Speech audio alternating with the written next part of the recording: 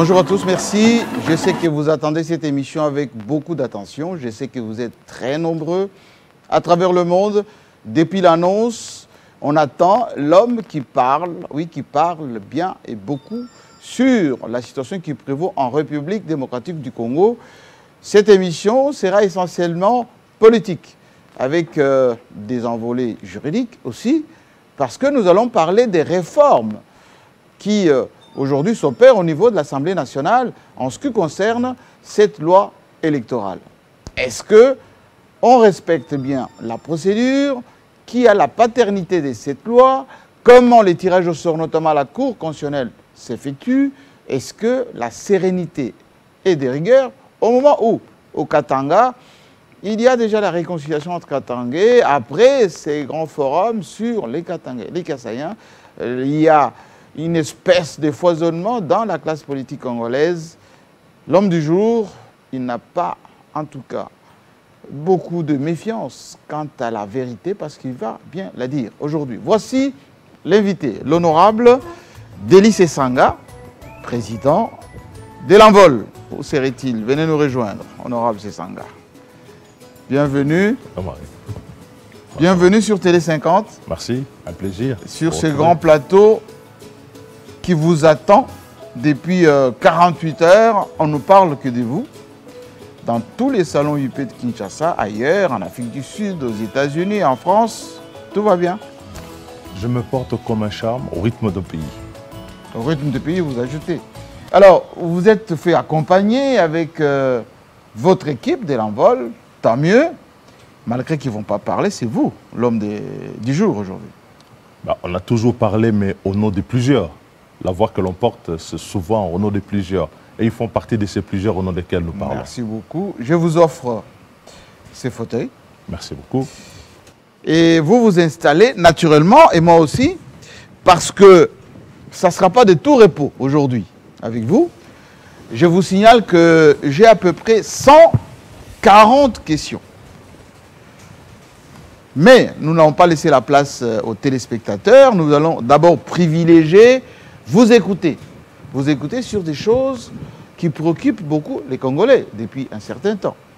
Tout le monde vous connaît, bon juriste, commis de l'État, élu depuis 2006. Délice Sanga, lorsqu'il parle, on a l'impression qu'il a peur de personne. Tout va bien. La peur ne m'habite jamais. Parce que la peur, c'est contre la liberté. Et celui qui installe la peur en vous, vous contrôle. Et donc j'ai toujours refusé la peur et j'ai pas peur.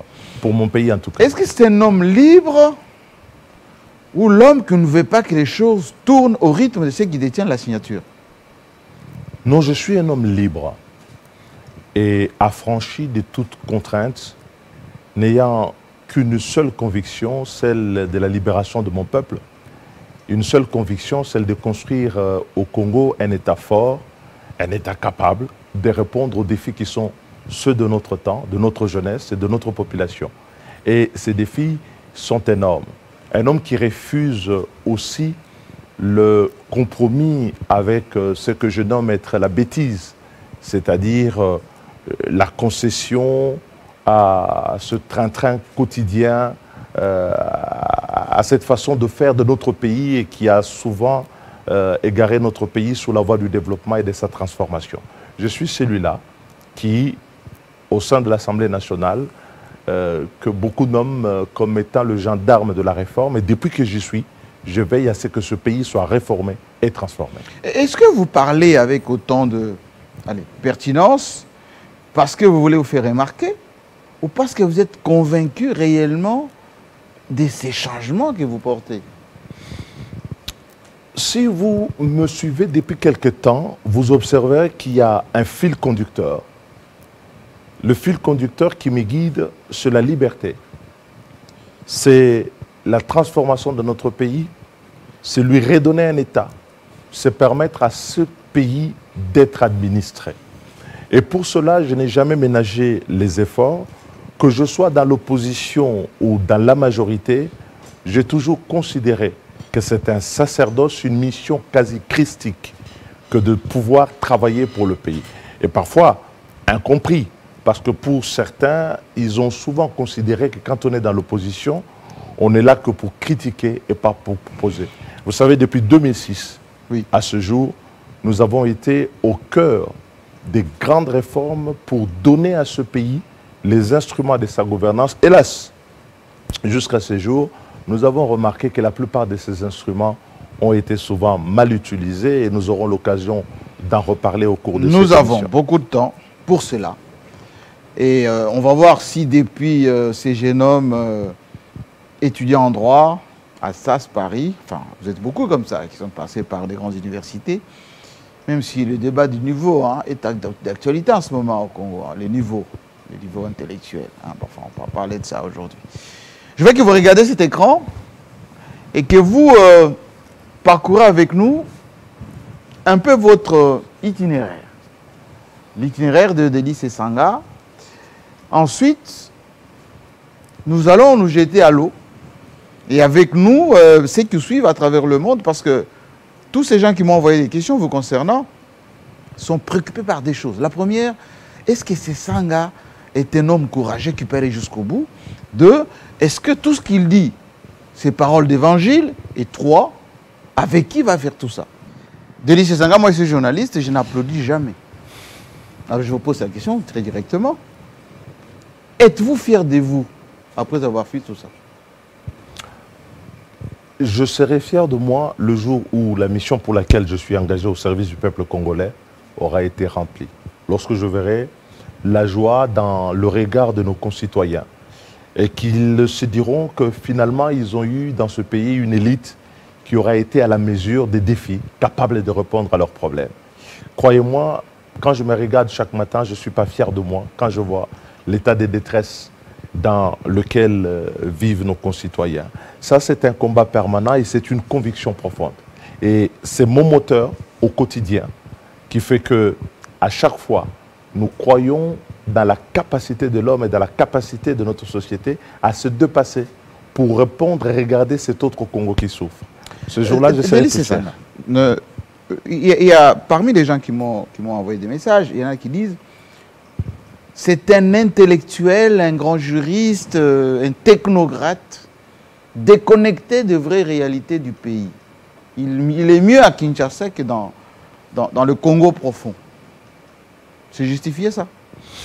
D'abord, c'est une très mauvaise idée parce que je crois que dans les mois qui viennent, je vais lever le voile de ce que je suis dans la vraie réalité. J'ai de la pudeur à parler de moi-même, de ce que je suis dans la vie Mais au il faut qu'on vous connaisse aussi. euh, auprès faut de vous connaisse. Parce, que, je qu'on la part. c'est.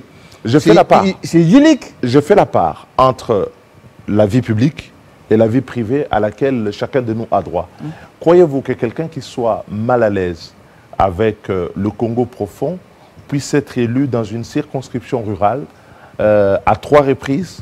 Croyez-vous que quelqu'un qui soit mal à l'aise avec le Congo profond puisse être élu dans le Kassai, aussi bien à Luisa que dans la ville de Kananga, où j'ai été élu brillamment comme député euh, euh, provincial Croyez-vous qu'en 2006, eh bien en 2006, j'ai fait le score le plus élevé de deux Kassai réunis? Non. Je crois que ça, c'est une idée que les gens veulent plaquer. Qu'est-ce qu'on vous trouve en tant qu'homme, avant d'être politicien? Qu'est-ce qu'on vous trouve? Naba, à Louise, à Okasaï. On vous trouve quoi? Ce qu'on me trouve aussi à Kinshasa. Au-delà d'être le fils de son père. Enfin, on sait Un que homme vrai. pas avec la politique. Un, un- un- un homme vrai. Oui. Un homme vrai. Je suis vrai dans ce que je dis. Je suis vrai dans ma conviction. Quand je vous dis oui, c'est oui. Quand je vous dis non, c'est non. Et lorsque je vous, euh, je suis convaincu que pour l'intérêt général, il faut entreprendre telle voie, je suis prêt à l'entreprendre, y compris lorsque cela va à l'encontre de mes intérêts partisans. Vous avez évoqué un sujet sur lequel euh, je voudrais euh, revenir. Oui. Vous parlez, je suis le fils de mon père, comme chacun de nous a, Sénateur, a eu, connu, a eu des etc. comme, comme toute cette génération, hein. Joseph Kabila, fils de son père. Félix Tshisekedi, fils de son père. Jean-Pierre Bemba, fils de son père. Délis Sessang, fils de son père. je, je suis le fils de... Vous êtes la génération des fils de, de leur père. Non, c'est-à-dire que euh, on n'a pas choisi ses parents. Je suis fier d'en avoir eu, de les avoir connus et de qu'ils soient encore vivants. Je suis fier de ce que mon père a entrepris, des valeurs qu'il m'a transmises, de l'éducation qu'il m'a donnée, euh, de la force de caractère qui, qui l'a conduit dans sa vie. Ça n'a pas toujours été simple, mais euh, c'est quelqu'un dont j'ai reçu une éducation qui me fait comprendre que rien n'est impossible et qu'à force de travail, on peut y arriver. Je ne suis pas fils de son père au sens où les gens l'entendraient. Je ne suis pas un héritier, politique. Héritier. Mon père est de gauche, je veux dire. Mon père a des sensibilités de gauche. Moi, je suis plutôt euh, de droite. Je suis libéral dans mes convictions. Pendant longtemps, et d'ailleurs, mon père a été euh, dans la campagne de 2006, il a soutenu la candidature de Joseph Kabila. Il était dans, on appelait ça AMP, AMP, à l'époque. Et moi, j'étais avec Jean-Pierre Bemba. On était donc opposés sur le terrain. Mm. Mais cela, cette liberté de ton que nous avons l'un envers l'autre ne nuit jamais à la qualité de notre relation euh, filiale euh, que j'ai avec lui. Donc, j'ai reçu de lui de valeurs. Et la première des valeurs que j'ai reçues de lui, c'est la liberté et la liberté, y compris par rapport aux convictions par, euh, par rapport aux siennes. Donc les convictions de mon père ne sont pas les miennes nécessairement, et je ne suis pas un mouton.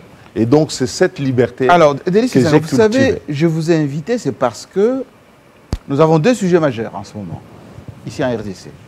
Il y a d'abord, au niveau de la Cour constitutionnelle, on a défenestré le président de la Cour constitutionnelle par cette opération de tirage euh, on a glané un tout petit peu, une certaine démarche. Et vous allez essayer de nous expliquer un peu ça parce que ceux qui sont chez eux, beaucoup parlent d'irrégularité, d'autres parlent euh, du chef de l'État qui, qui, est le garant du bon fonctionnement des institutions, donc qui peut, via la politique, via l'appareil, via ben, toute la machine qui existe, installer, réinstaller, etc. Et puis on parlera du G13, on parlera tout à l'heure de cette euh, réforme au niveau de l'Assemblée nationale qui, préoccupe beaucoup. Avant de voir dans le futur votre parti politique, d'ailleurs vous avez amené euh, quasiment votre état-major, ça on parlera un peu plus tard. Si je parle le même langage avec la technique, j'aimerais, avec illustration, que vous nous expliquiez un tout petit peu ces schémas de tirage au sort. Pour les membres, voilà, système de tirage au sort de membres de la Cour constitutionnelle. Qu'est-ce que c'est d'abord? Comment ça s'est passé chez nous? J'aimerais, avant qu'on puisse lancer la technique, oui expliquer un fait. Parce qu'on a entendu parler dans les médias. La proposition, l'avant-proposition de loi, lorsque nous sommes en campagne en 2006, j'élabore une série de réformes, une série de lois. Vous? Oui. Parce que je me dis que lorsque nous allons gagner les élections, nous devons être attelés à travailler dès le premier jour. C'est ma conception du travail politique. Je ne suis pas de ceux qui pensent que quand on est élu, c'est là qu'on commence à travailler. Il y a des témoins. François Mwamba, qui est euh, au CPVS avec le président de la République, peut en témoigner. Donc à l'époque, j'ai fait plusieurs lois, dont la loi sur la Cour constitutionnelle. J'estime que c'est une loi essentielle. Sauf qu'à cette époque, je porte trois propositions. Je porte la proposition de loi sur le statut de l'opposition politique. Nous sommes en 2007. Je porte la proposition de loi pour la suppression du sauf-conduit pour le Kassai, permettre à ce que les gens, quand ils viennent au Congo, ne puissent pas être astreints à solliciter un nouveau visa pour le Kassai. Oui, parce que c'était une zone diamant. On considérait que le Kassai était une zone minière. Oui. Mais le on y allait avec euh, une autorisation supplémentaire. partout ailleurs, avec le code minier, on voit que le Congo est minier partout. Les gens pouvaient aller partout sauf au Kassai. cette discrimination me paraissait impossible à tenir et donc c'était une priorité je l'avais senti pendant la campagne. Et donc j'ai fait la loi pour qu'on abroge le sauf-conduit. Et c'est ce qui a été fait. Et donc j'étais sur ces deux lois. Et donc la troisième, qui était la loi sur l'organisation et le fonctionnement de la Cour constitutionnelle, je l'ai présentée sous la signature de l'honorable Boulet, qui était avec nous, qui est un des collègues au niveau de l'Assemblée nationale. Et donc c'est moi qui écris cette loi pour que nous puissions être dotés très rapidement d'une Cour constitutionnelle. Cette loi est adoptée à l'Assemblée nationale sous Caméré en 2008. Elle va au Sénat, qui l'adopte d'ailleurs à l'unanimité. Et pendant que nous avons déposé la loi, je crois cinq mois après le dépôt de la loi, le gouvernement, comme à ses habitudes, s'amène avec un projet. Et vous savez qu'en matière euh, de législation, lorsqu'un projet vient après une proposition à laquelle on n'a pas répondu dans les 15 jours, mm. on utilise le projet comme étant un document de travail. Mm. Alors, la loi est adoptée et elle est transmise à Joseph Kabila, qui est président de la République, pour être promulguée. Sauf que le président Joseph Kabila ne veut pas la promulguer à l'époque. Sans doute redoute-t-il que si nous faisons les élections en 2011 et que le contentieux électoral doit être tranché par une cour constitutionnelle formée de la sorte, il n'aura pas les coups des franches. Le mal commence là. Et donc la loi n'est pas promulguée. Nous allons donc aux élections, nous revenons en 2011. Je vois ressurgir avec le nouveau gouvernement, j'oublie euh, quel est euh, ce ministre, qui ramène euh, une proposition de loi, nous sommes, un projet de loi, nous sommes avec le président Minako. Il dit non, on a inscrit au calendrier... Minako qui était à l'Assemblée nationale. Voilà. On a inscrit au calendrier un projet de loi gouvernementale. Je dis, mais tiens, tiens, honorable président, je suis intervenu au cours de cette plénière, les archives existent. J'ai fait ici une proposition de loi. Et que pour que cette proposition soit alignée, il y a eu même un arbitrage. Parce que le gouvernement voulait qu'on aligne euh, son projet en 2008. Nous sommes allés chez Caméré avec François Momba, qui était le président du groupe. Moi-même, il y avait Évariste Bochab, qui représentait le, le, PPRD à l'époque. Et il y avait de l'autre côté, je crois, Maître Nkoulou.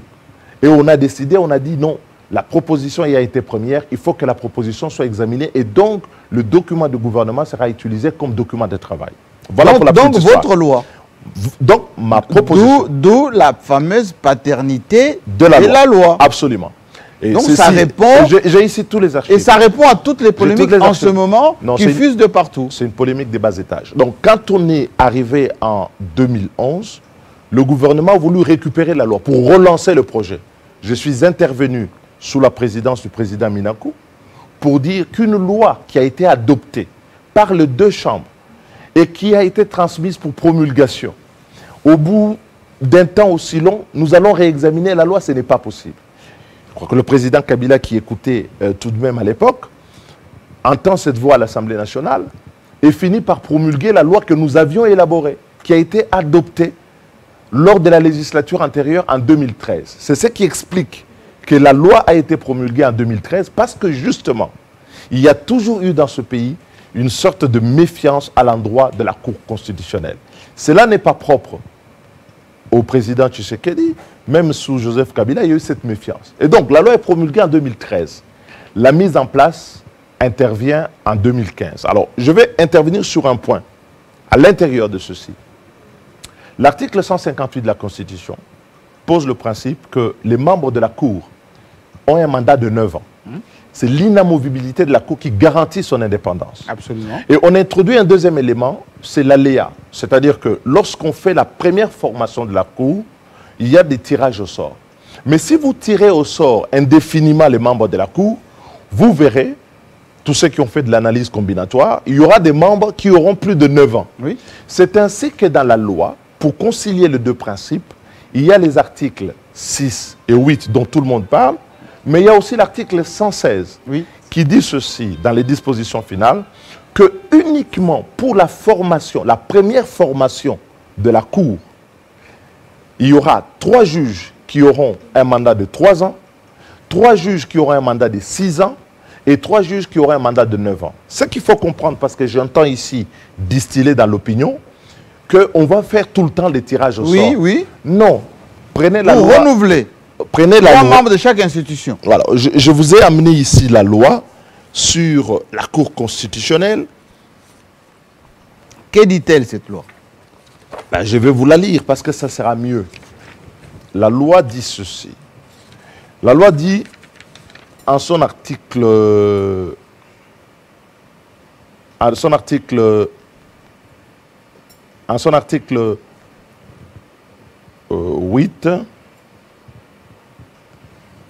président de la Cour, le président de la Cour est élu par ses pairs pour une durée euh, de trois ans renouvelable, ça c'est pour le président.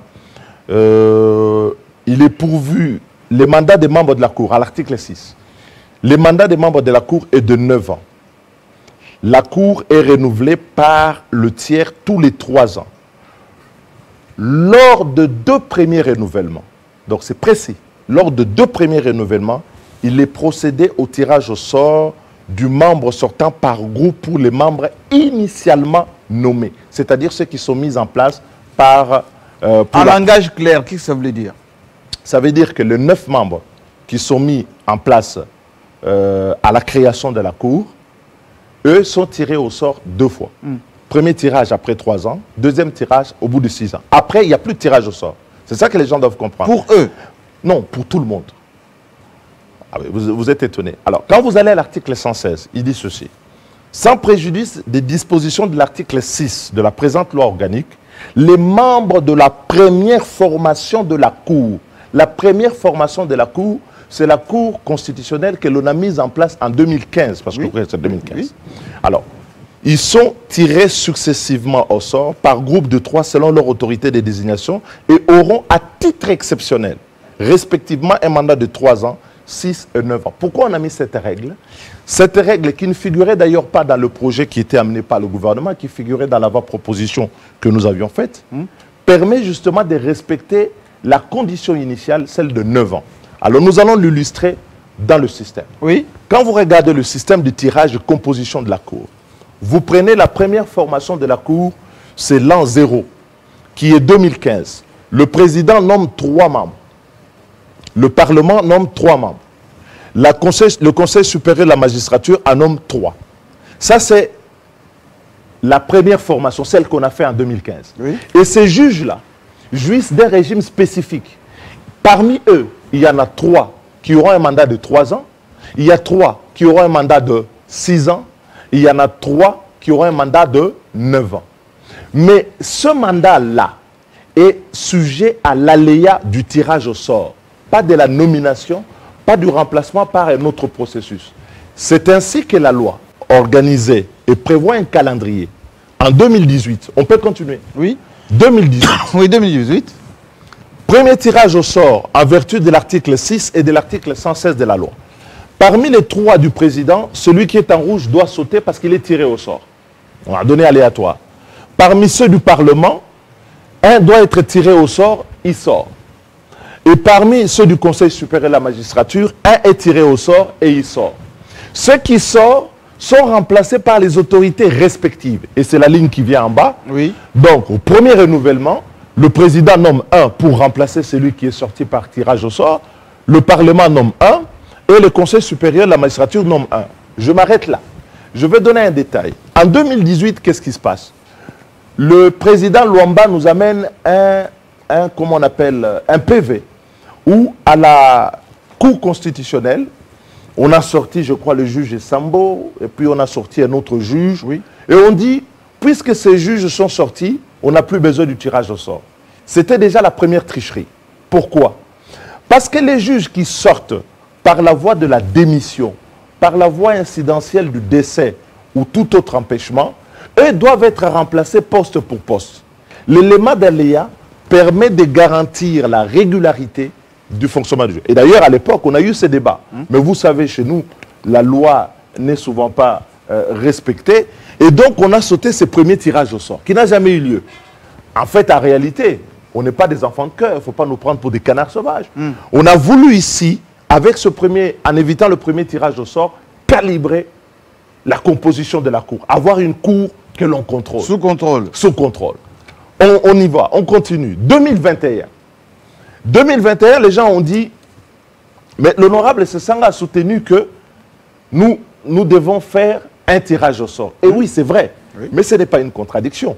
En 2021, nous sommes à la sixième année. Donc, le, le, deuxième membre de la première formation qui a été mise en place doit être tiré au sort dans le lot du président de la République. Le deuxième membre doit être tiré au sort dans le lot du président.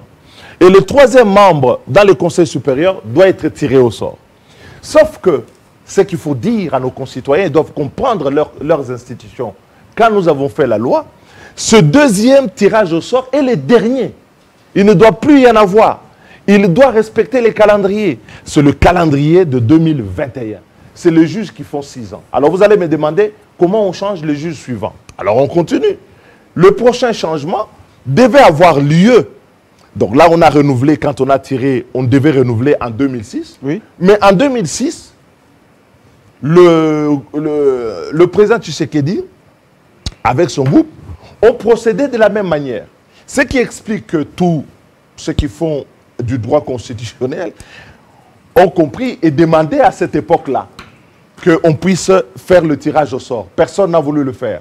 Et donc, on a refait en 2021 la même chose qu'on a faite en 2018 pour calibrer la composition de la Cour. À sa, à sa sauce. à sa sauce. Et donc, c'était critiquable.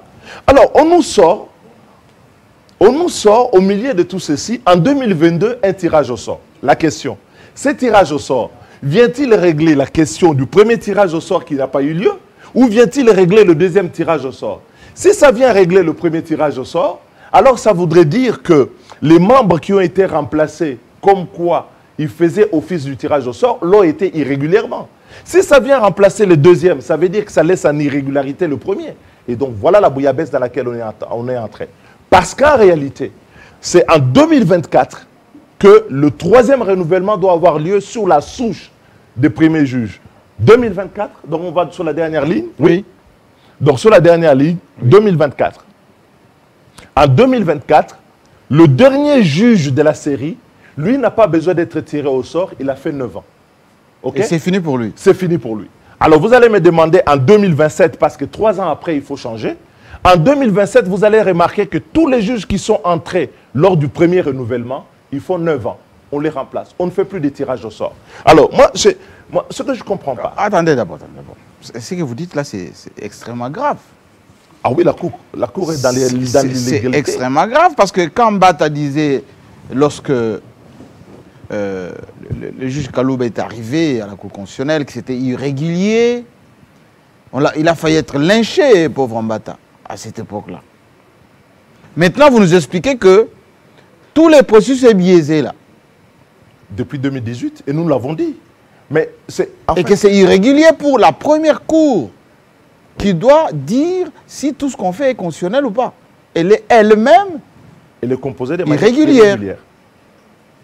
Parce que pour éviter l'inamovibilité, éviter l'élément d'aléa qui introduit plus d'indépendance, les pouvoirs en place, le régime Kabila comme le régime Tshisekedi ont préféré le calibrage de la composition de la Cour. La Et grande, donc, gym- la grande gymnastique. la grande gymnastique. Et donc, c'est cette gymnastique qui perturbe. Alors, les gens en- sont rentrés dans un jeu où on peut se lever un matin, on fait un tirage au sort. Demain, on fait un tirage au sort. J'ai rien à voir hein, sur euh, euh, Kalouba, que je connais au demeurant, qui est un confrère. Je, je, je pense que le sens de l'État, s'il devait nous occuper, c'est que les bonnes lois, quand elles sont faites, elles doivent être respectées. Et comme je vous le disais en entrée tout à l'heure, y compris lorsque cela va à l'encontre de nos propres intérêts. La Cour constitutionnelle, telle qu'elle est faite aujourd'hui, a été perturbée dans son dispositif. C'est un mécanisme qui doit devenir indépendant. Et pourquoi on met en place cette mécanique? On la met en place pour que sa composition échappe à l'influence de courants politiques les uns les Et autres. vous sentez comment vous maintenant? Et les, et les, et les sujets de cette cour constitutionnelle euh, au bon vouloir des dirigeants ou le peuple congolais peut encore espérer si cette cour? La Cour constitutionnelle a été pensée comme étant un dispositif clé dans la construction de l'indépendance du pouvoir judiciaire. Aujourd'hui, la manière dont elle a été pervertie, telle que les lois ont été mal appliquées, volontairement mal appliquées, nécessite une profonde réforme. Vous allez me dire encore, vous nous parlez de réforme. Oui. Mais vous savez, Oui. en juillet 2019, lorsque nous étions en congrès de, disons, un bureau politique élargi de mon parti, à- en sortie des élections, l'un des axes des réformes majeures que nous avons souhaité, malheureusement aujourd'hui nous ne pouvons pas faire des révisions constitutionnelles, c'était de revoir le pouvoir judiciaire. Parce que ce type de fonctionnement, où on fait les lois et on les adapte à celui qui tient le pouvoir ou à un camp n'est pas bon. Ce que l'on a fait en 2018 sous Joseph Kabila n'est pas bon. Le fait de le répéter en 2021 a approfondi encore et perturbé. Mais on va vous expliquer qu'on est en politique et que quand on a la, euh, la signature, ben on garde cette signature le plus longtemps possible. Bon, ça c'est une... Vous, à la place de Tshisekedi, vous ferez la même chose. Non, euh, je ferai différemment. Je ferai différemment. Je C'est-à-dire suis... Non, je suis... Les gens ne, ne se rendent pas à quel point les dysfonctionnements de l'État cette façon de ne pas respecter les lois afflige des souffrances énormes à nos populations. Parce que ces désordres, on croit que c'est un petit problème juridique, mais donne notamment aux investisseurs que l'on va chercher à longueur de journée l'image qu'il n'y a pas de justice dans ce pays, qu'il n'y a pas d'état de droit dans ce pays. L'état de droit, ce n'est pas un discours. L'état de droit, le premier à en avoir parlé, euh, Patrice Emery Lumumba, dans son discours d'investiture du 23 juin 1960, euh, a voulu l'état de droit parce qu'il devait être le porteur des espérances des Congolais. On ne mesure pas à quel point les crises de légitimité, l'absence de l'état de droit est un frein au développement et rive des millions de Congolais dans la souffrance. Parce que ceux qui nous regardent, que vous fonctionnez comme ça, ils savent que dans cet état-là, les droits, les libertés ne seront jamais garantis et ça sera à la tête du client. et donc l'appareil judiciaire oui n'est pas seulement un outil politique, mais c'est aussi un outil de développement, un outil euh, de construction économique. On dit la justice élève une nation, mais elle ne lève une nation que si ceux qui gouvernent mettent des gants blancs lorsqu'ils doivent toucher aux affaires de la justice. Alors, si vous le dites comme ça, qui est-ce qui explique euh, cette sympathie euh, pour Kalouba? Tout le monde ou presque dit qu'il a été défenestré illégalement, ou plutôt irrégulièrement que c'est un érudit, c'est un grand juriste, euh, il aurait fallu qu'il reste à sa place, etc. Vous vous dites c'est irrégulier. Moi, moi, moi, je ne plaide pas les cas individuels. Je suis sur le principe. J'ai dit l'État ne peut vivre qu'à travers le principe. Et puis on, on ne peut gouverner les nombres, le grand nombre de nos concitoyens, que si on se donne des lois, mais des lois que les dirigeants eux-mêmes respectent. Vous savez, vous, pas le cas. Vous, ne pouvez, vous ne pouvez pas. Pas le cas. En l'occurrence, je vous montre que ce n'est pas le cas depuis Joseph Kabila. Vous ne pouvez pas faire garder euh, une réserve par euh, des gardes euh, forestiers qui eux-mêmes sont devenus braconniers des bêtes qui sont à l'intérieur. La garantie de nos institutions le respect de loi, ce n'est pas au petit peuple, c'est chez les grands qu'il faut le demander. C'est ceux qui gouvernent qui doivent le respecter. Délice tout de même. Vous êtes aussi euh, réputé aujourd'hui euh, l'homme qui empêche les choses de tourner en rond. Tout pour vous est, est maladroit. C'est mal fait. Allez. Les décisions que prennent, ou que prend surtout les chefs de l'État, Délice a toujours une phrase pour euh, torturer, pour ne pas dire dévier tout cela. Allez, je prends un exemple. L'état des sièges. Voilà, depuis 20 ans, la gangrène à l'Est. Euh, tu sais qu'il y arrive. D'ailleurs, il avait promis pendant la campagne électorale qu'il allait installer l'état-major là-bas, qu'il allait en finir une bonne fois pour toutes. Il arrive, il installe le commandement, il donne les moyens sans président, il a dit d'ailleurs il y a deux jours. Il n'a jamais, les FRDC n'ont jamais eu autant de moyens que lui-même qu'il a essayé de mettre à disposition. Aujourd'hui même d'ailleurs, il va rendre hommage aux, soldats euh, congolais que Joseph Kabila avait installés ici, euh, place Forescom à Kinshasa. Et le 17 mai, révolution congolaise avec euh, tu sais que dans la continuité, il va faire la même chose. Mais ça, ce n'est pas ma question. Ma question est, comment vous trouvez-vous le temps allez, j'allais dire le toupet, de contester l'état de droit, alors que tout le monde, plutôt l'état de droit, l'état de siège, que tout le monde félicite. Euh, on a réduit les groupes armés. Aujourd'hui, euh, on est en coopération avec l'Ouganda. Vous êtes antipatriotique. Bah, je vais vous expliquer une chose. J'ai pris une position sous Joseph Kabila et qui était des positions de principe. J'étais son opposant pendant tout son régime. J'entends parfois maladroitement les gens dire Vous avez été avec Joseph Kabila. Non, j'ai combattu Joseph Kabila. Vous étiez ministre Tout hein? son régime. Non, j'ai été ministre pendant les 1 plus 4. Oui, avec Joseph Kabila. À partir de 2006 jusqu'en 2018, hmm? je n'ai pas travaillé avec Joseph Kabila. J'étais à l'Assemblée nationale dans les groupes de l'opposition. Donc il y, a des il y a des positions de fond que nous prenons pour lesquelles nous ne dévions pas en fonction de tel ou tel autre critère partisan. Mais c'est ça aussi être un homme d'État. Si les Congolais n'ont pas suffisamment de fermeté par rapport à certaines choses, la réalité ne sera jamais tendre avec nous. Elle nous rattrapera toujours. C'est pourquoi les gens peuvent me trouver par moments très rigide sur certains principes. Extrémiste, on dit. Pas extrémiste, exigeant. Parce que si vous dites que j'empêche le monde de tourner en rond, parce que vous avez l'impression que le, Congolais tourne, le Congo tourne rond. Moi, quand je sors, je vais dans les marchés, je vais à la cité, les gens souffrent. Quand je regarde le fonctionnement de nos institutions, je n'en suis pas fier. Lorsque je vois la courbe d'apprentissage sur différents domaines, la situation économique est telle. Mais vous êtes autorité budgétaire. Mais, maintenant, vous C'est vous les députés. Je vais y revenir. C'est vous qui donnez les moyens euh, Je- je- au je vais y- gouvernement qui contrôle le gouvernement. Je, vais y revenir. Pourquoi vous vous avez parlé de l'état des sièges, qui est une question importante. Pourquoi je me suis opposé à l'état des sièges? Dès qu'on l'a annoncé. Parce que tout celui qui avait les éléments d'analyse du contexte, qui suit ces questions quelque temps, savait que ce n'était pas la bonne décision. Pourquoi? La défense nationale dans notre pays, depuis les réformes de, de loi sur la défense nationale, elle est territorialisée. Nous avons des zones de défense et nous avons des régions militaires. Et vous avez à l'intérieur de ces zones de défense des secteurs opérationnels. Au moment où on a proclamé l'état des sièges, il y avait des secteurs opérationnels, je crois qu'il devait en avoir huit, Oui. qui fonctionnaient. Et ces secteurs opérationnels ne donnaient pas des résultats satisfaisants.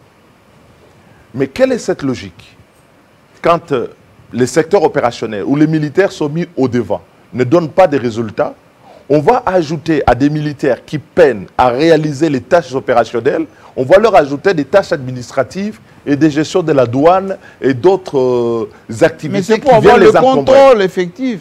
Non. La réalité, c'est qu'aujourd'hui, tous les rapports sont là, y compris nos collègues élus de l'Est du pays qui, au départ, avaient mal pris notre position et qui nous ont conduits parfois à la réserve. Aujourd'hui, nous ont rejoints pour dire qu'il faut lever l'état des sièges. Parce que ce n'est pas la mesure appropriée. Et d'ailleurs, le président lui-même, lorsque je l'ai suivi dans une vidéo à Abidjan, quand il dit... euh, les Bon, là, il s'exprime en tant qu'homme. Hein? Bah, En tant qu'homme. les deux corps du roi, les deux corps du roi, lorsqu'il parle euh, au public, il parle comme Oui, il parle de chef d'État. complicité. C'est les désarrois. Tous les Congolais, C'est le commandant, c'est le commandant suprême des Oui, forces. alors À la différence de nous autres, lui c'est le commandant suprême des forces. Et donc lui, quand le président dit la police, l'armée est un problème, était même un facteur d'insécurité à l'Est, ça veut dire quoi? Ça veut dire que nous avons l'état des sièges, où nous avons donné davantage de responsabilités à une police, à une armée, dont on sait qu'elle a véritablement des problèmes. Est-ce que c'est comme ça qu'on résout les problèmes du pays? Moi, je pense que non. Ah, Mais ça, il fallait pas 12 place. Non, attendez, ça, il fallait pas 12 mois pour s'en rendre compte. Parce qu'on pouvait le savoir dès le début. Il y a quand même des services de renseignement, militaires, civils dans ce pays, qui rendent compte Mais de l'état réel de nos Tshisekedi, vous forces. ferez quoi Sanga Vous savez, Vous fer- ferez quoi? il y a une chose. Quelque chose qui manque dans ce pays, c'est d'abord un problème de responsabilité. Nous sommes responsables en premier de notre propre sécurité. On ne doit pas traiter cette question de sécurité comme si c'était celle d'un autre pays. J'ai suivi euh, un dirigeant ici dire que le Congo n'était pas en guerre et ça fait un tollé, mais c'est parfois le sentiment que ça donne. Le Congo est un pays qui aujourd'hui est déchiré par la guerre. Et pour pouvoir résoudre le problème de la guerre, on a besoin d'une armée, on a besoin des services de renseignement qui fonctionnent de manière correcte, Oui, mais ça, on le a principe. besoin d'administrer. Ça, c'est le principe. Je vais- j'y Concrètement, vous ferez quoi? Concrètement, À la place de l'état de siège concrètement, on aurait laissé les, zones, euh, les secteurs opérationnels, on aurait relevé les troupes qui sont fatiguées parce qu'elles sont épuisées. On ne peut pas laisser des troupes au front aussi longtemps et penser avoir des résultats. Il fallait les relever, il fallait les renforcer, il fallait, euh, on, met les moyens, mais les réformes que l'on doit pouvoir faire sur euh, la chaîne administrative pour la gestion des ressources de l'armée, pour s'assurer justement que les moyens qui sont déployés vont effectivement à l'activité pour laquelle on a euh, déployé ces ressources. Vous savez, à un moment donné, on a eu ici la coopération avec la Belgique euh, qui a appuyé euh, certains euh, de, de nos troupes. On a vu après euh, les troupes, par exemple, de Mamadou Ndala obtenir... Les commandos. oui, Des obtenir, résultats contre les M23. o- o- obtenir des résultats contre les M23. Donc quand on a un problème de sécurité, il faut le résoudre par les moyens les plus appropriés, c'est-à-dire l'armée. Et quand on sait, comme le président de la République l'a dit, que l'armée ou la police n'est pas en état, donc on s'adresse d'abord à ce problème avant de pouvoir y aller. Donc à travers les secteurs opérationnels, Oui. on aurait pu bien rencontrer ce problème en renforçant les forces, en relevant certaines unités et en contrôlant davantage euh, euh, Mais la commission défense et sécurité de l'Assemblée nationale ne parle pas le même langage que vous. Enfin, Mais vous savez que je suis membre de la commission défense et sécurité à l'Assemblée Oui, nationale. oui, oui. Donc, euh, quand on voit aujourd'hui tous les rapports qui sont faits, tout le monde est conscient que les opérations ont été lancées sans planification, sans moyens adéquats, sans un cadre opérationnel qui on, pouvait on sent une dose de jalousie un tout petit peu. Si, ça, si ça aurait été euh, un grand succès, Je suis jaloux de mon pays. Je voudrais voir mon pays en paix. Je voudrais voir mes compatriotes où qu'ils vivent, à l'Est comme euh, à l'Ouest. Et je connais au demeurant ces régions pour les avoir euh, fréquentées pendant de longues années. lui, ils étaient rebelles là-bas. Oui, et euh, je pense que le premier droit d'un homme, c'est d'avoir la paix et la sécurité.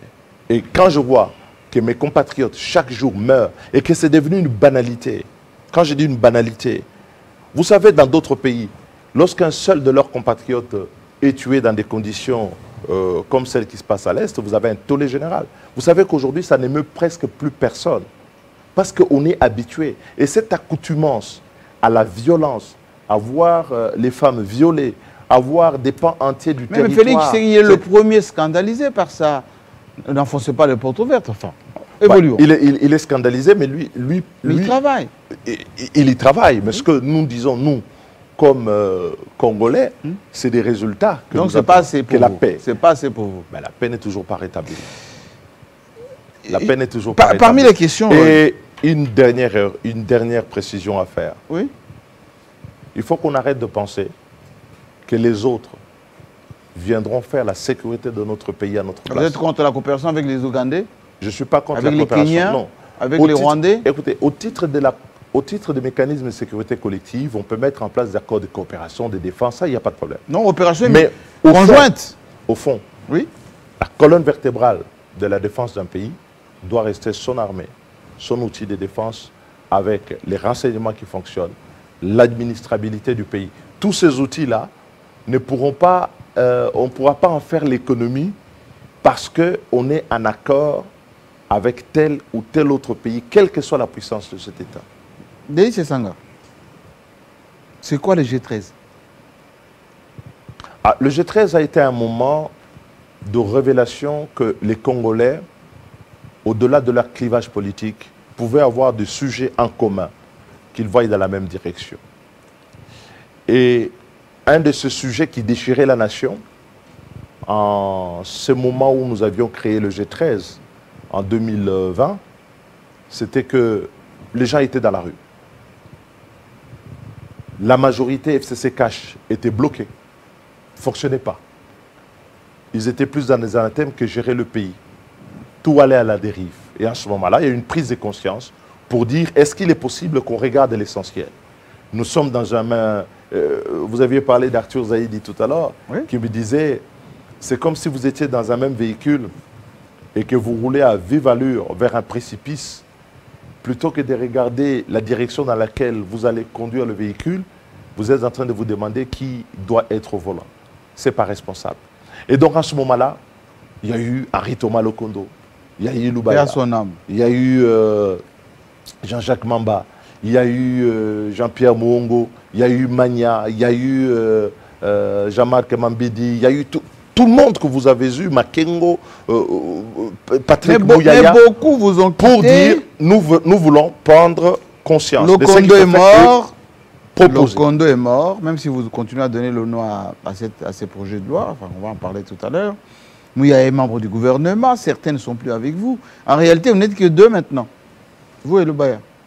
Mais écoutez, quand on a présenté la loi, il y a eu euh, Donc G13 n'est plus L'honorable. G13. l'honorable Njoli qui est là. Oui, il est aussi là. Jean-Marc Mambidi était là, il n'a pas pris la parole, mais il était là. il y avait euh, l'honorable Makengo, était là. À part le Kondo qui est parti et Patrick Mouyaya pour des charges euh, gouvernementales, euh, le G13 est resté. Mais G13, c'est une idée, c'est un esprit. Et c'est cet esprit qui dit on peut transcender les clivages politiques pour donner à la République et à l'État une loi qui soit conforme à l'aspiration de la majorité de notre peuple et lui donne les conditions de sa stabilité. Cet esprit demeure. Cette exigence est utile pour reconstruire ce pays. Denis Sanga, G13, ce n'est pas l'idée à Fayoulou, finalement. Martin Fayoulou. C'est-à-dire ben, Lui qui veut les réformes. Lui qui veut que les débats s'effacent au-delà des, institutions. Il avait dit d'ailleurs qu'il y avait un problème de légitimité, un problème de gouvernance et que tout ce que vous, vous avez avancé comme idée, c'est un peu lui, hein, Fayoulou. Finalement, vous le rejoignez. Non, vous savez, les idées peuvent se recouper. La manière, la tonalité peut être différente. Moi, je ne veux pas rentrer dans cette polémique. Ce que je veux faire comprendre ici, c'est que lorsque nous sommes sortis des élections, le bureau politique, par exemple, de mon parti, hmm? s'est réuni en juillet 2019. L'envol. L'envol. Nous étions au centre Nganda pendant trois jours. Les gens sont venus de l'intérieur du pays, tous nos élus, pour pouvoir tabler sur ce qu'on devait faire. Et parmi les résolutions, on a dit qu'il faut faire la réforme de la CENI.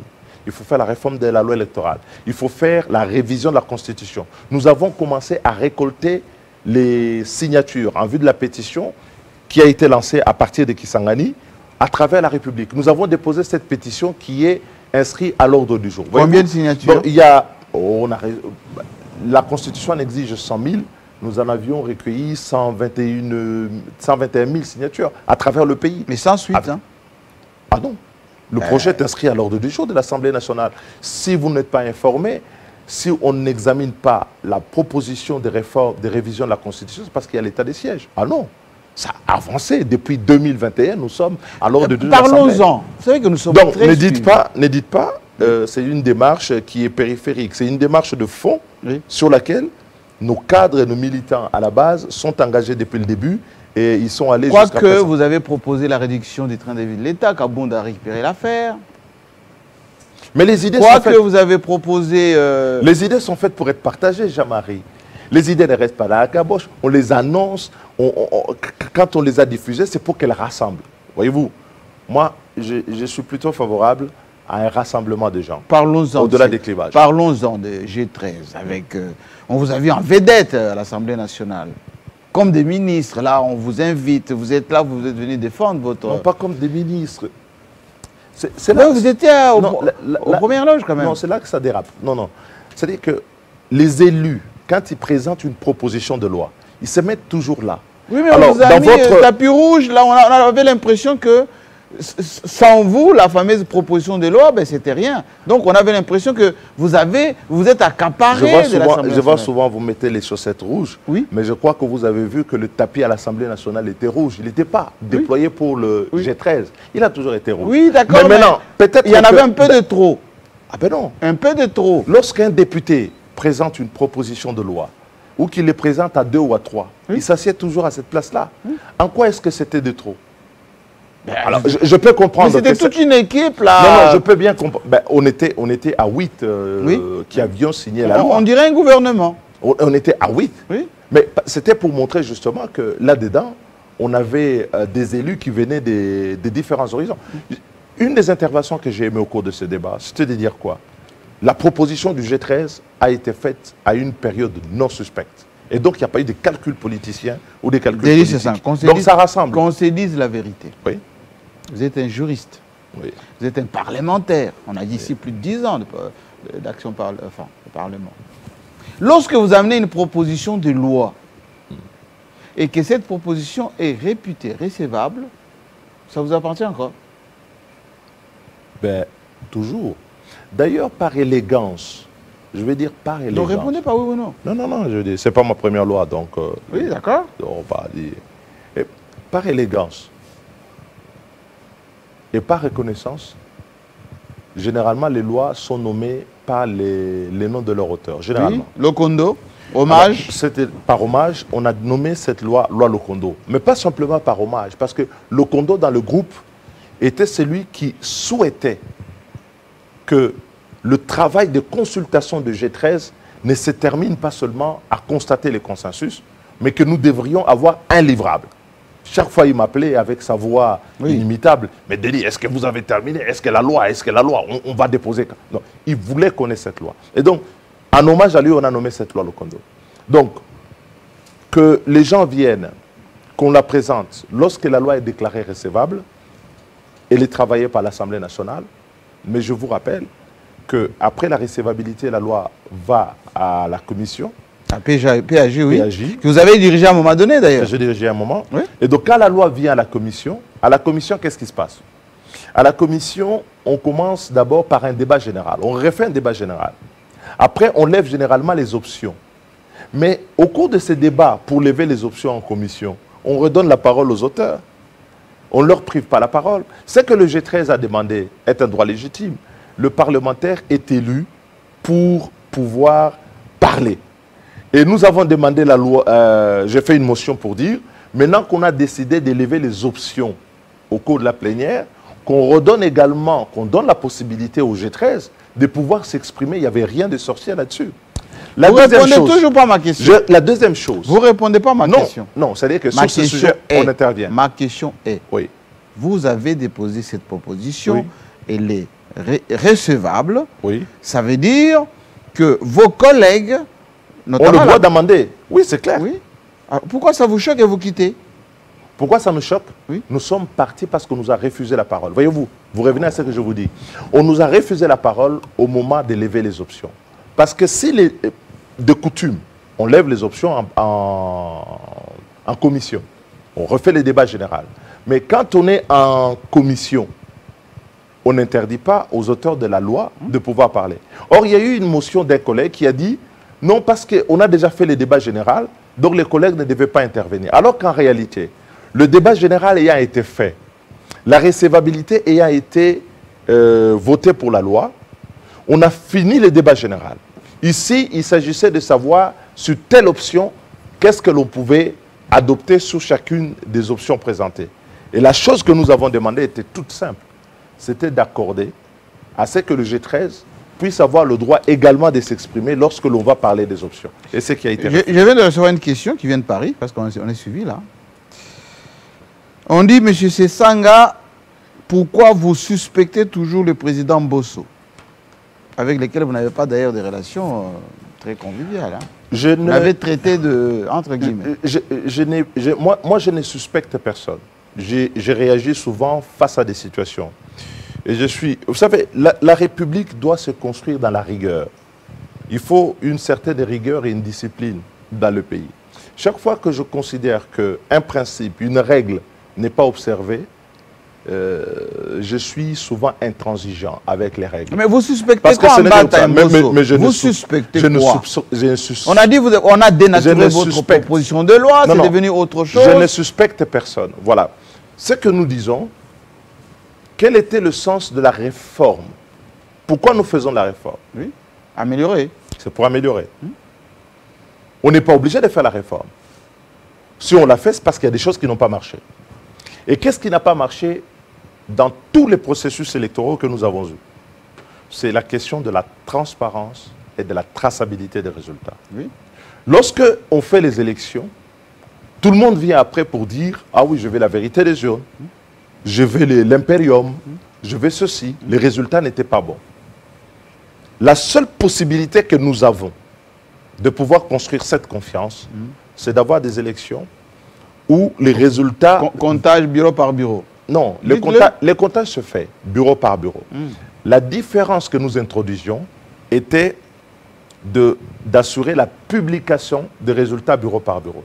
Est-ce que vous savez, Jean-Marie, que lorsque vous suivez une élection dans un pays autre, si je vous parle de la France, vous allez me dire c'est l'Europe, mais au- aujourd'hui au Sénégal, au Ghana, on fait la même chose. Quand vous suivez une élection qu'à 20 heures, un des candidats qui a perdu sort et vous dit j'ai perdu, voilà. Mais il a euh, les résultats. Il les a. non, il a les résultats. mais ce ne sont pas les résultats officiels. Ce sont les résultats publiés bureau par bureau. Le problème, c'est que ce que l'on a fait à l'Assemblée nationale, dans euh, l'amendement sur cette affaire, l'Union sacrée a retravaillé pour que tous les résultats, non seulement on affiche, mais vont à la, à la CENI. C'est là où il a la tricherie. Et la CENI, écoute-moi bien, C'est là où a la il, tricherie. il- il vérifie avec euh, la conformité avec les, les résultats Oui. électroniques Oui. et ensuite il demande au bureau De il publier. donne de, de publier ou d'afficher. Non, ce système est tout à fait barbare. Je- pour la petite histoire, en, 2000, en 2006, François Mamba s'en rappellera, il était avec moi. Au deuxième tour de l'élection présidentielle, on est en train de discuter, on dit mais les résultats qui viennent de l'intérieur, ils sont mauvais. On ne comprend pas, les gens discutent. Pour bâtir la confiance, qu'est-ce que l'on a fait? On a dit, lorsque les résultats viennent, avant leur publication, donc les résultats viennent directement et nous sommes informés. Alors du côté du MLC, il y avait qui? Il y avait euh, François Momba, il y avait Thomas Louaka et moi-même. Du côté de, l'AMP à l'époque, Joseph Kabila, il y avait euh, Samba Caputo, il y avait euh, Augustin Katumba, et puis il y avait un troisième, euh, j'ai oublié. Et donc, on se voyait, les résultats venaient, on disait, bon, Kambov, les résultats viennent. Ils atterrissaient, on regardait. Est-ce que vous avez des observations? On faisait des observations. Et quand on n'était pas d'accord sur euh, certains trucs, on procédait à des vérifications communes. Et quand euh, les vérifications avaient été faites, les résultats étaient publiés. Aujourd'hui, en 2011, le système a été abîmé. Pourquoi? Parce qu'en 2011, on a fait une réforme, on a dit, les centres de compilation qui avant existaient au niveau du district, on va les rapprocher au niveau du territoire. Et les centres de compilation a été le lieu, quand vous avez affiché les résultats, quand ils viennent au centre de compilation, on les tripatouille. Les centres de compilation créent les résultats. Et d'ailleurs, les membres des centres de compilation, ils ne publient pas les résultats, nuitamment, ils affichent et ils fouillent. Délit, c'est ça. En 2018, non mais c'est très important, Oui, oui. c'est très important, Oui, euh. Les gens nous suivent. En 2018, qu'est-ce qui s'est passé? Les centres de compilation, on les a même oubliés. C'est-à-dire qu'on a publié les résultats ici alors que les gens étaient en train de compiler. Alors nous disons, mettons tout sur la table. Ce pays n'appartient à personne. Ce n'est pas parce que vous êtes une majorité que vous abusez de cette position de la majorité pour dire j'ai voté.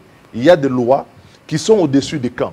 Et la loi électorale n'est pas une loi pour gouverner, c'est une loi pour arbitrer, pour, euh, euh, la dévolution du pouvoir. Et donc tout le monde doit pouvoir l'observer. Et ce que nous avons fait comme réforme, et qui a réuni le consensus de tout le monde, y compris le président de la République, quand on l'avait rencontré, c'était de dire, lorsqu'un bureau a fini, il dépouille, au lieu simplement d'afficher, il publie. Et cette publication s'oppose à tout le monde. Vous savez ce qui se passe au Congo? Vous êtes journaliste. Vous allez à Makelele, à Bandal. On a fait les élections. Vous avez vu le résultat. Vous n'avez pas le droit d'en parler. Il faut attendre que la CENI en C'est parle. la loi. Bon oui, mais elle est mauvaise. En France Parce que c'est ça. permet... Non, non.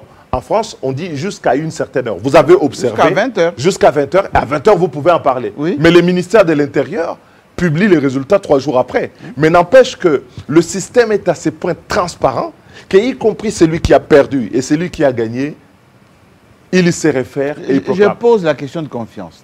La, la- la question ici, Oui. la question ici, c'est que la mécanique qui a été mise en place de maintenir les centres de compilation, de renvoyer les résultats au niveau de la CENI qui est euh, monolithique, vise à créer les conditions de la fraude. Nous sommes à notre quatrième expérience électorale. La Et donc- fraude. Oui, la fraude. L'Union sacrée veut frauder. À partir du moment où il n'y a plus de transparence, il n'y a pas de traçabilité des résultats, donc il y a la fraude. C'est pour ça que vous êtes parti. Nous disons, nous sommes partis parce qu'on ne nous a pas donné la voix au chapitre. Et puis deux, nous ne partageons pas l'opinion. On peut tout réviser dans la loi. Mais s'il y a eu besoin de réformer, c'est introduire la transparence. Et je vais vous surprendre, Jean-Marie, et je vais Oui. peut-être en arrêter là. Oui.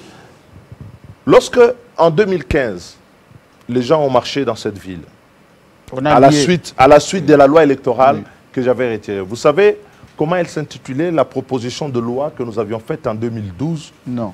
C'était la loi sur la transparence du processus électoral. Parce qu'au sein de mon parti, l'envol, la transparence du processus électoral est un élément clé de la crédibilité du processus. Et je crois qu'aujourd'hui, nos concitoyens n'attendent pas d'aller à une élection qui se passe comme celle de 2018. Vous, vous avez peur, 2011. vous avez peur de la victoire de Félix Tshisekedi avec peur de une la forte majorité en personne. 2023 Non, je n'ai peur de personne. Je veux simplement que les élections soient les plus transparentes possibles et que la voix du peuple soit entendue. Et que si le peuple a décidé que c'est Félix, c'est Félix. Si le peuple a décidé que c'est Tartampion, c'est Tartampion. Si le peuple a décidé que tel. Ici, c'est le peuple qui doit reconquérir son droit de vote. Imaginez-vous les gens qui sont morts avec nous dans cette ville, les Rossi Mukendi, les Thérèse Kapangala, les Ngandou et tout ça, pendant les marches, pour avoir des élections crédibles. Oui. Aujourd'hui, nous allons marcher sur la mémoire de tous ces gens pour dire nous Vous allons savez fabriquer que les absents toujours tort. Euh, J'ai vu un député d'ailleurs, je vais citer son nom, qui a dit ne- s'ils sont partis, ce n'ont qu'à partir. Euh, la politique de la chaise vide, ça ne va pas les profiter, ça c'est de un. Et de deux, les champs à bois, la caravane passe, monsieur. Alors là, on en vient au cœur du problème. Le G13 a fait une loi qui n'était pas une loi pour un camp politique. Le G13 a fait une loi qui est une loi pour la nation. Mais vous voulez la piéger Un, un instant. Nous avons fait une loi avec la société civile, avec toutes les parties prenantes avec lesquelles nous avons discuté. Les gens se sont réappropriés les termes de cette loi, l'agenda citoyen. Les idées pour lesquelles on n'est pas prêt à se battre ne valent pas la peine. Il est venu le temps pour le peuple congolais de se dire, est-ce qu'il veut en 2023 la même chose qu'en 2018, en 2011, ou est-ce que le 2023, nous le voulons comme un processus qui a maturé, où la voix du peuple va être respectée? Et ça, ça ne dépend pas que du G13, ça dépend de la population. Je vous rappelle qu'à l'époque, avec vous d'ailleurs, lorsque l'Assemblée nationale, nous avions quitté l'Assemblée nationale et qu'on faisait la loi, on voulait subordonner la tenue des élections Au recensement, au oui. recensement. Oui, je vous avais reçu avec Lambert il- Mende, avec. Oui, euh, ils, ils- ils avaient voté la loi. Mais après, parce que la population s'était réappropriée le processus, avait manifesté, et il a fini par être entendu. Moi, je pense que le peuple congolais, parce que on ne se bat pas pour nous, on se bat pour le peuple congolais. Ce que nous faisons, c'est pour que le peuple puisse avoir des élections crédibles. C'est aujourd'hui qu'il doit se battre. Il ne doit pas attendre 2023 pour crier à la fraude. C'est aujourd'hui qu'on se bat. Et nous avons l'expérience et nous savons que la fraude est un processus graduel. Et quand nous le voyons venir à grands pas, nous crions dé- Et donc il faut que les gens se rassemblent, Oui. les démocrates, ceux qui pensent qu'il est encore possible d'avoir de bonnes élections dans ce pays, doivent être vent debout contre l'adoption de cette loi. Terminons cette émission avec euh, l'envol, là, je vois.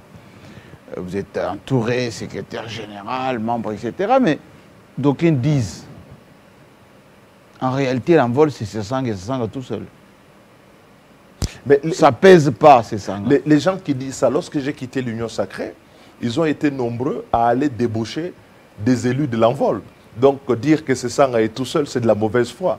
Nous sommes un parti qui n'est pas né sur euh, la peau de l'État, qui ne prospère pas sous les caisses de l'État, qui ne prospère pas sur la distribution de positions dans l'appareil d'État. Vous avez Nous un sur vice-ministre à la idée. défense, hein? Nous, nous- nous- nous sommes, Vous avez un vice-ministre à la nous défense. sommes un parti. N'oubliez pas. Nous sommes un parti de l'opposition, je vais y revenir. Oui. Nous sommes un parti qui est dans l'opposition, qui œuvre et qui est en croissance continue depuis sa création. Hmm. Donc, nous avons de grandes espérances pour les prochaines élections. Nous y préparons et nous serons présents au rendez-vous.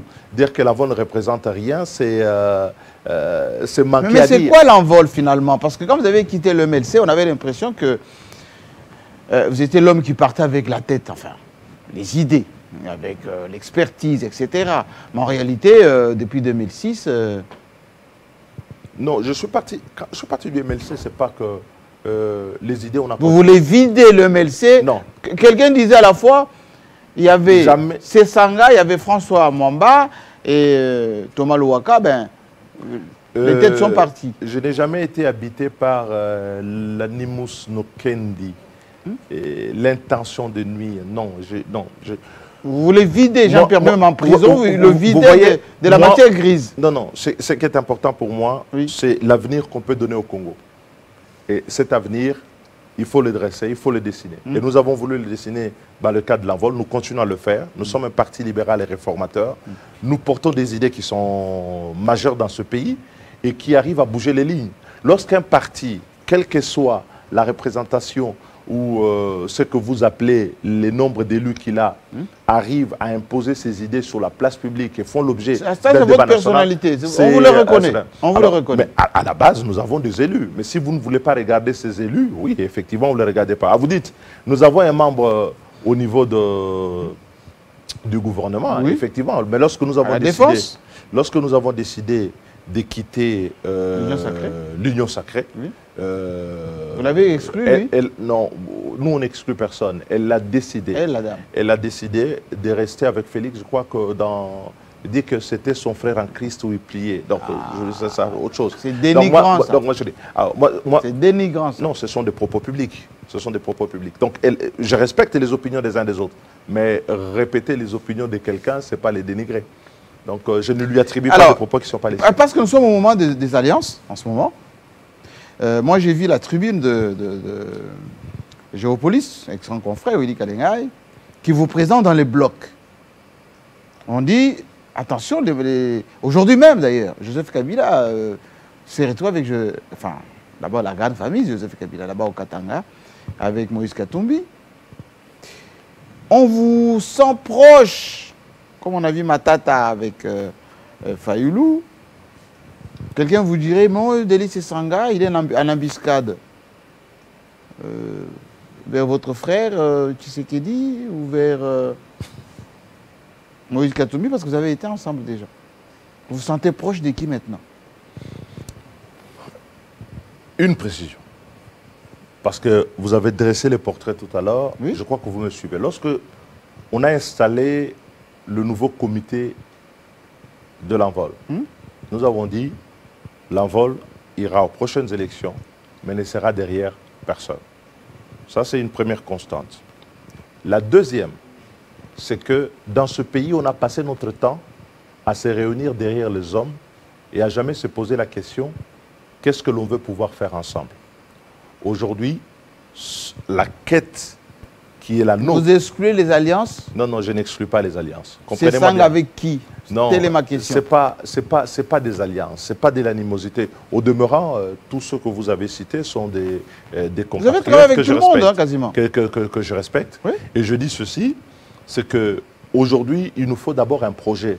Il faut un grand projet pour le Congo. Il faut un projet à la dimension du Congo. Ce que nous avons remarqué, c'est que l'absence de projet dans ce pays, les gens tombent très vite dans le dialélo. Et quand on est dans le dialélo, quand on y arrive, on ne sait plus qu'est-ce qu'on va Vous faire. êtes proche de qui finalement Donc nous allons faire... mais Vous, vous êtes proche de qui je- nous sommes en vol. Ça, ça vous gêne peut-être de le dire, mais il faut le dire, nous sommes en vol. Et donc, c'est que euh, nous sommes, nous bâtissons un projet qui est un projet fédérateur avec des idées qui sont fortes et nous allons continuer Je à le repose faire. ma question. Mais nous reparlerons avec le. Jean-Pierre Bemba vous appelle. Ah, ancien camarade, venez me rejoindre. On va euh, renforcer euh, Félix Tshisekedi. Euh, Moïse Katumbi vous appelle. Mais vous savez, on a été ensemble. Comment ça s'appelait déjà votre. euh, à l'époque, avec Katumbi? Vous faites exprès. Ensemble pour le changement. Merci beaucoup. Même Macron, Macron a fini par Merci adopter beaucoup. D'ailleurs, quelqu'un a dit que vous avez soufflé le mot ensemble pour faire son parti. C'est un peu cela que vous avez fait ensemble. Eh bien, Katumbi vous appelle. Comment vous allez répondre? Et enfin, enfin, Joseph Kabila vous dit, mais vous savez, vous êtes un excellent juriste, un bon député, etc. Allez, votre cœur va battre où? Ah, parce, que, parce que vous, dans tout, ce Le, que le vous- monde nous suit. Hein dans, dans tout ce que vous avez dit, oui. c'est les gens qui m'appellent et moi, je ne peux pas les appeler. En fait, c'est ça votre problème. Non, je dis ceci. Je dis ceci. L'appel de ce pays, c'est le destin que l'on veut le bâtir, qu'on veut lui donner. Quel est le destin que l'on veut donner au Congo? Est-ce que les Congolais peuvent s'arrêter une fois de dire, nous chantons dans notre hymne national, nous sommes unis par le sort, nous sommes unis dans l'effort. Mais quelles sont ces racines historiques et spirituelles que nous tenons pour bâtir une nation forte au Congo? Quel est cet effort que nous sommes capables de faire en commun pour donner à ce pays le destin qu'il mérite Pour donner à nos jeunes l'emploi qu'ils attendent euh, de ce pays Leur donner un autre avenir que simplement de rêver de partir à l'étranger? Alors, si c'est de ça que l'on parle, alors nous devrons parler d'abord des idées. Délice Et donc aujourd'hui, commencez à dire de, de qui vous vous sentez proche. Délice et Sanga. Laissez-moi poser la question. On va, terminer par là. on va terminer par là.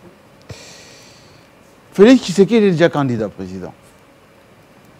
Moïse Katumbi, enfin, il va l'annoncer parce qu'on le sent d'ailleurs, il se prépare pour, il fait les, les dispensaires, machin, etc. Ces, ces gens se déploient un peu partout. Matata vient de le faire. Joseph Kabila, d'ailleurs, on a effacé euh, non éligible parce qu'avec cette affaire de sénateur à vie, et juridiquement, ça ne se justifie pas. Donc, je pense qu'il pourra aussi se jeter à l'eau. Alors, c'est Sanga. Candidat, pas candidat. Président de la République. Je vais vous dire une chose. N'expliquez pas. Non, non, je vais vous dire une chose.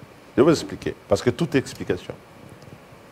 De plus en plus de gens dans la société me contactent et verraient bien cette candidature pour l'élection présidentielle. Candidat, pas candidat. Le On va temps- couper ça. Je vais vous dire, le temps n'est pas venu de la candidature parce que je pense que ce pays a besoin encore qu'on y travaille. Pendant que nous sommes sous la loi électorale, comment voudriez-vous commencer à évoquer ces questions d'ambition? C'est ce que d'ailleurs beaucoup de nos compatriotes nous reprochent. Ils voient que la classe politique est plus portée sur des combats de gladiateurs entre eux que sur l'avenir qu'il faut leur donner. Nous avons une ambition pour ce pays. Le temps viendra où nous allons l'exprimer.